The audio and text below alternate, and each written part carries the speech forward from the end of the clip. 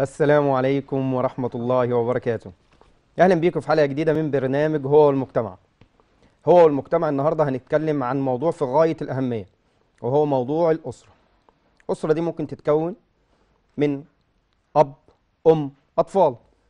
ممكن في أي وقت من الأوقات يحصل مشكلة. في مشاكل ممكن تتحل وفي مشاكل للأسف بنرجع فيها للقضاء. عشان كده عايزين أي حد داخل على تأسيس بيت هيتجوز عايزين نديله حبة نصايح كده من الناحية طبعا القانونية ومن الناحية الشرعية. عشان كده مشرفني ومنورني النهارده فضيلة الشيخ حمدي نصر إمام وخطيب وزاره الأوقاف. أهلا وسهلا أهلا بحضرتك. بحضرتك أستاذ عمرو أهلا بحضرتك. ومشرفني ومنورني الأستاذة فاطمة يوسف المحامية بالاستئناف العالي. أهلا وسهلا بحضرتك. أهلا وسهلا بحضرتك أستاذ عمرو. فضيلة الشيخ أنا حد مقبل على الجواز. إيه الإجراءات اللي أنا ممكن أكون إيه أحطها في دماغي بقى عشان أبدأ كده إيه اسس أسرة كويسة. الحمد لله. الحمد لله الذي علم آدم الأسماء واسجد له ملائكته وأسكنه الجنة دار البقاء وحذره من الشيطان ألد الأعداء وأنزله إلى الأرض دار الابتلاء. وأشهد أن لا إله إلا الله وحده لا شريك له نحمده على السراء ونستعين به على الضراء. ونشهد أن سيدنا محمدا عبده ورسوله دعا قومه إلى الهداية فلبوا النداء. صلوات ربي وسلامه عليه وعلى آله وأصحابه وأتباعه وعلى كل من اهتدى بهديه وبعد. الأسرة هي مشروع الحياة هي مشروع العمر. إذا أراد الإنسان أن يقيم مشروعا أعد له اعدادا جيدا وخطط له تخطيطا سليما. أولى بنا إذا ما أقدمنا على مشروع الزواج على مشروع الحياة أن نعد له حسن الإعداد. بداية لا بد أن يكون الزوج والزوجة مؤهلين لتحمل الأسرة ولتحمل أعباء الأسرة معنى وقيمة الحياة الزوجية. أحيانا بنعد للبيت أفضل إعداد ينفق الزوج على مسكن الزوجية انفاقا هائلا وتعد الزوجة لمسكن الزوجية اعدادا هائلا. لكن ربما نتناسى شيئا مهما جدا وهو إعداد طرفي الزوج الزوجية الزوج والزوجة. كيف نعدهم؟ لابد بداية من حسن الاختيار لابد أن يدعو الزوج ربه تبارك وتعالى أن يوفقه في اختيار الزوجة الملائمة له وأن وأن تدعو الزوجة ربها تبارك وتعالى أن يوفقها لزوج كفء لها. النبي عليه الصلاة والسلام كان في هذه النقطة مستشارا يقول من لمن أراد أن يتزوج لمن أراد أن ينكح تنكح المرأة لأربع تنكح المرأة لأربع لمالها ولجمالها ولنسبها ولدينها. النبي أعلمنا وأخبرنا أن هذه الأمور الأربع تنكح من أجلها النساء. ولكن إذا أردنا نحن نصيحة رسول الله صلى الله عليه وسلم النبي يقول وأنا أنصحكم وأنا أقول لكم ما فيه الخير وأنا أقول لكم ما فيه النجاح والفلاح فاظفر بذات الدين تربت يدك إذا لا مانع أبدا من الجمال لا مانع أبدا من المال لا مانع أبدا من النسب لكن مع هذا كله وقبل هذا كله الدين. أن تكون الزوجة على خلق أن تكون الزوجة على علاقة طيبة بالله تبارك وتعالى تعرف معنى وقيمة الحياة الزوجية. كذلك الزوج ما ترك النبي صلى الله عليه وسلم الزوج بل قال لولي المرأة أو للمرأة إذا جاءكم من ترضون دينه وخلقه فزوجوه.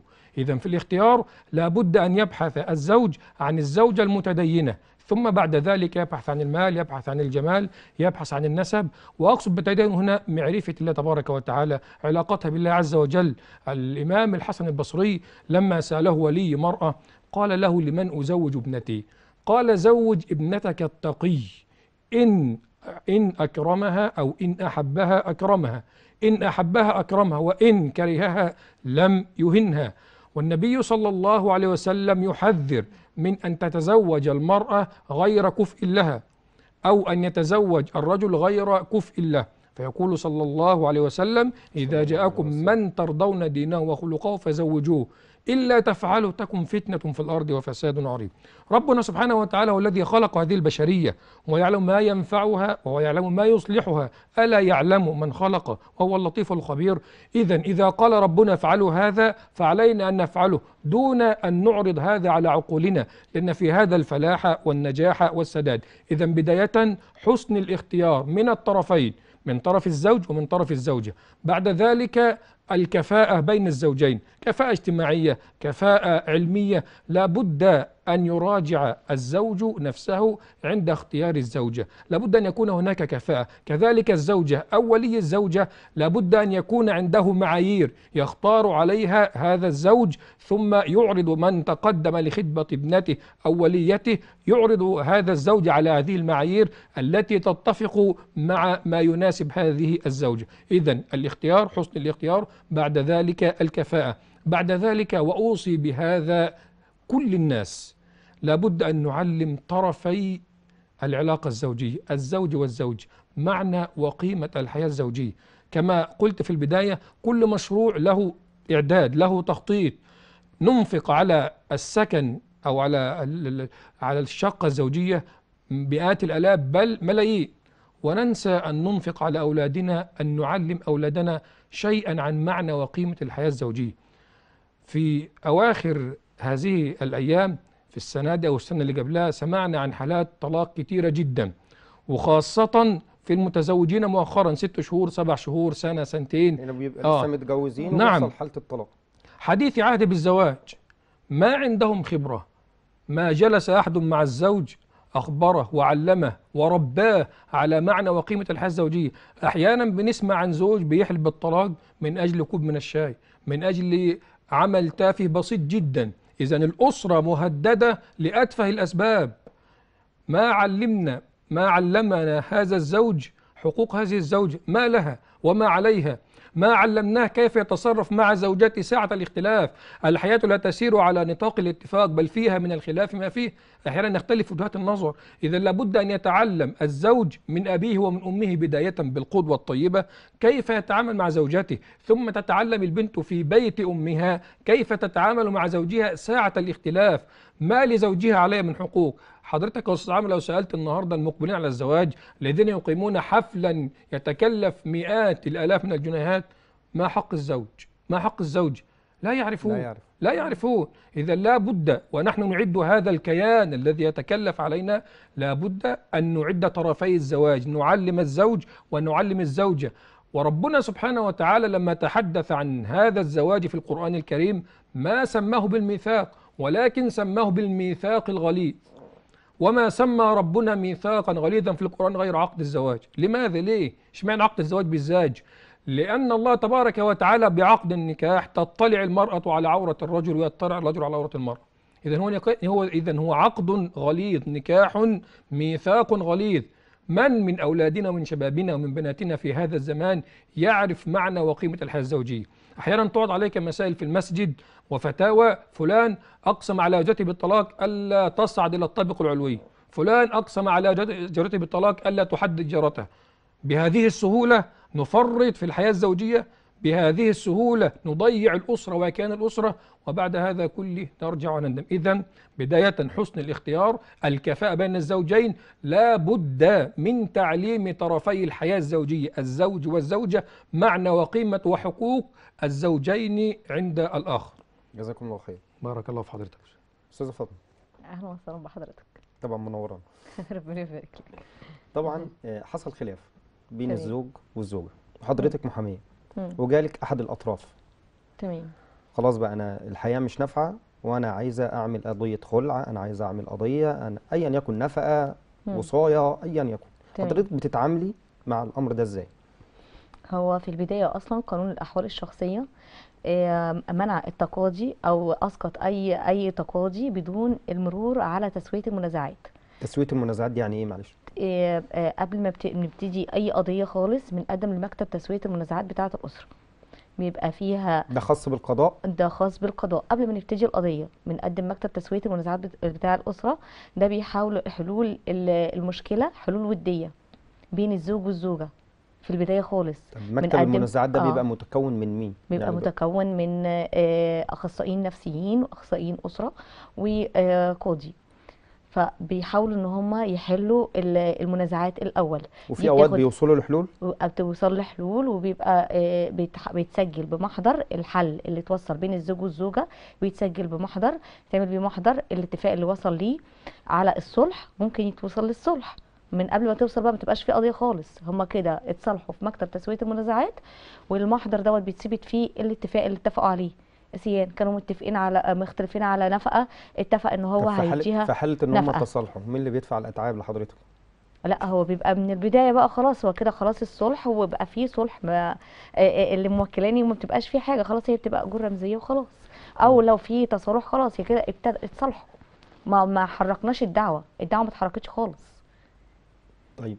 لو ما تصالحوش المكتب بقى ما قدرش على حل المشكلة. المكتب آه، بيبقى في حوالي 15 يوم في حدود 15 يوم وبيتصلوا بالزوج أو بيتواصلوا مع الزوج أو بيتواصلوا مع الزوجة اللي مقدم الخلاف آه، وبيحاولوا يصالحوا. ما توصلش الحل بنحرك الدعوة القضائية. طيب. آه، الدعوة القضائية آه، ممكن تكون عن النفقة الطلاق خلع زي ما حضرتك بتقول. رؤية. طيب إحنا بنشوف في مشاكل كتيرة جدا بالنسبة خاصة بالرؤية خاصة بالحضانة. خاصة بالولاية التعليمية والمشاكل دي كتير جدا. وفي من ضمن المشاكل كمان إن ممكن حد يكون هو اللي ليه الحضانة وللأسف ممكن يخطف طفل أو هي تخطف الطفل وفي مشاكل كتيرة كده إحنا بنشوفها. الحل في الحاجات اللي زي كده طبعا من إحنا عايزين نتكلم برضو كدور اجتماعي قبل ما يكون قانوني يعني. توجه نواب كتيرة جدا لمحاولة لتعديل قانون الأحوال الشخصية. اللي هو قانون الأسرة المسمى اللي هو قانون آه قانون الأسرة وخصوصا في موضوع الرؤية وموضوع سن الحضانة. يعني هو كان ال- الجدل على النقطة ديت الرؤية والحضانة. الرؤية بتبقى عبارة عن آه، من آه، آه، بحكم محكمة. الرؤية على فكرة مش بتقتصر على الزوجة بس ممكن تكون للزوج. يعني الز- الزوجة هي اللي رفع على الزوج حق الرؤية قضية الرؤية. مش شرط إن الزوج هو اللي رافع قضية الرؤية. يعني كلا الطرفين. آه ده أو ده.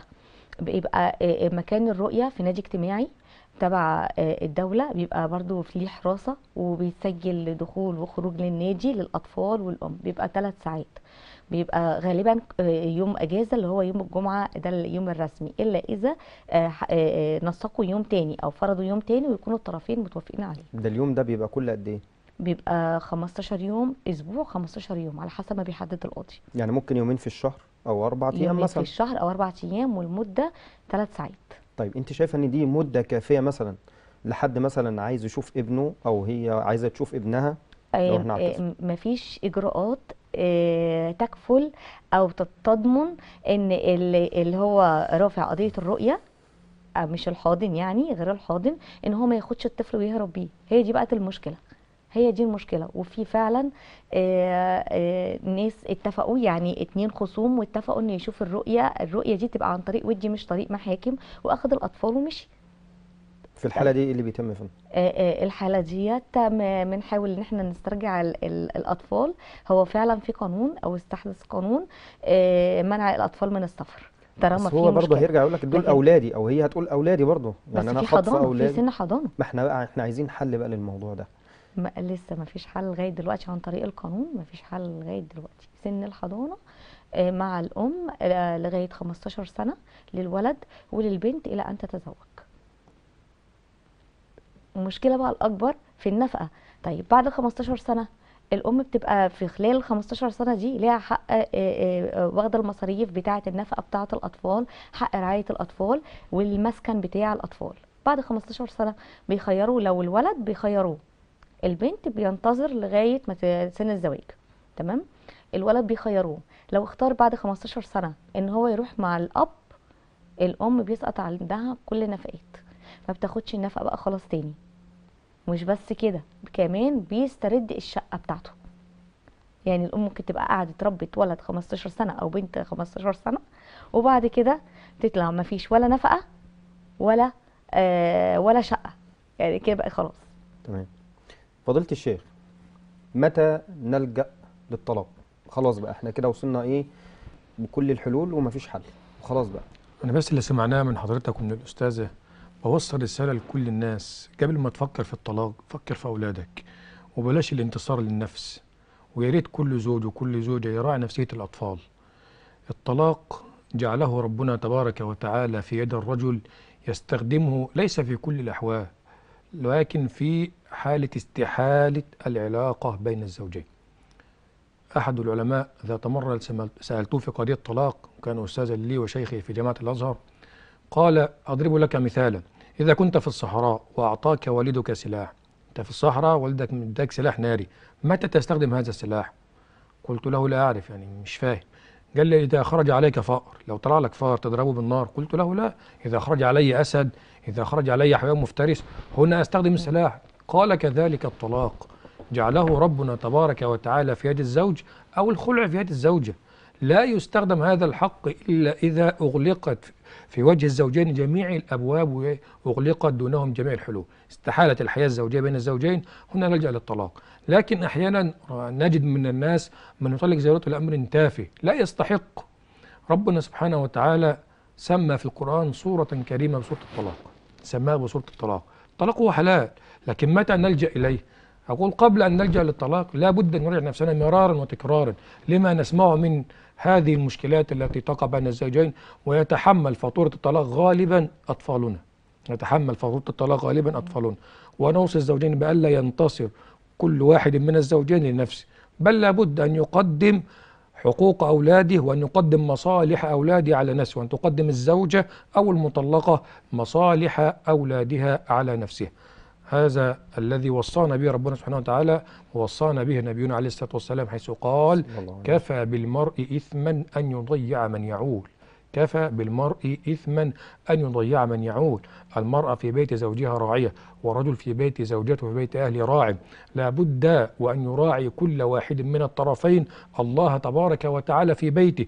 لأننا سنسأل عن هذا أمام الله تبارك وتعالى. فيا ريت نراجع نفسنا مرة واثنين ومليون قبل ما نقدم على هذا الأمر. وهو الطلاق. أستاذة فاطمة لو حضرتك هتقدمي نصيحة بقى للمقبلين مثلا وخلاص على الطلاق هتقولي لهم إيه؟ بعيدا عن القانون. بعيدا عن القانون آه، هي طالما وصلنا للطلاق يبقى كده في استحالة العشرة فعلى الأقل حافظوا على أولادكم. يعني على الأقل آه، زي ما فضيلة الشيخ بيقول راعوا ربنا في أولادكم. طلعوا أطفال أسوية طلعوا رجال مجتمع طلعوا نشء صح. يعني في حرام. اباء ما يعرفوش أولادهم؟ في أبهات ما يعرفوش أولادهم. يعني ممكن يكونوا سابوا الأم بأولادها أو حاجة إن 20 هي ما و 30 سنة. بترفعش نفقة. أغلب القضايا اللي بتيجي بتاعت ال- الرؤية للأسف من الأبهات بيبقى عايز يسقط النفقة طيب هقول لحضرتك على حاجة موضوع النفقة دوت في حالات معينة بتتوجه للبنك تقريبا بنك آه. مصر الاجتماعي وهم ما بيكونش في بيناتهم خلاف وللأسف بيعملوا قضية إن في بيناتهم خلاف عشان هي تبدأ تاخد فلوس هل ده فعلا وارد يا فندم ولا آه ده وارد؟ كتير بس يعني هم بيبقوا عايشين ومفيش مشاكل. آه ده زي ده, ده وارد ده, ده وارد بس برضو آه بنك ناصر بيضمن حقه إن هو بيجيب جواب تحري. ما أنا فاهم يا فندم ده في في أفظع من كده.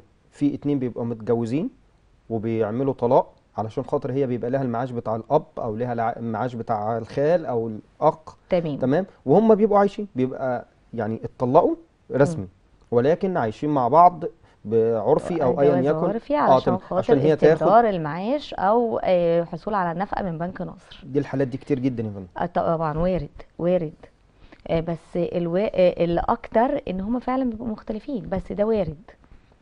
وارد إن تروح بنك ناصر وتقدم إن هما منفصلين أو ما بيصرفش عليها وبتعمل قضية النفقة بتاعتها كلها وبتكسبها وهو ما بيدفعش بالتالي فبتروح لبنك ناصر. بنك ناصر بيضمن حقه بجواب تحري. هو ما. بيقبلش كده وخلاص صيغة ال- الحكم لأ. يعني بنك ناصر بيضمن حقه بجواب تحري بننزل جواب تحري عن طريق الاسم. هل هم فعلا متجوزين ولا لأ؟ بينزل تحري من الاسم. هل هم متجوزين أصلا ولا لأ؟ تمام. يبقى كده بنك ناصر أو الزوجة لأ من الب- من التحري من جواب التحري. أستاذة فاطمة يوسف المحامية بالاستئناف العالي شرفتيني ونورتيني. أنا جدا الشيخ حمدي نصر. طبعا. دقيقة دقيقة واحدة بس. طيب. يعني معلش يعني اتفضل. أوص بس بوصي بوصي الزوج والزوجة في دقيقة واحدة بس عدم التأثر بالسوشيال ميديا. له إيجابيات وله سلبيات هو ده كنا بس هنخصص له آه. حلقة مع آه. حضرتك بس طيب لو ماشي. انت آه. يعني إن شاء الله بإذن الله. هنخصص ليه حلقة حاضر مع بعض الإجراء- معلش بقى دي الوقت بقى مفيش مشكلة طبعا شرفتوني ونورتوني ربنا يكفي حضرتك يا رب طبعا. هنطلع لفاصل آه، صغير كده وهنستقبل بقى مجموعة من خريجين الجامعات نعرف بقى بمواجهتهم بقى مع سوق العمل إيه اللي تم معاهم وطبعا يعني حالة كورونا وهم متخرجين كانوا هيمتحنوا ومش هيمتحنوا إن شاء الله بعد الفاصل انتظرونا إن شاء الله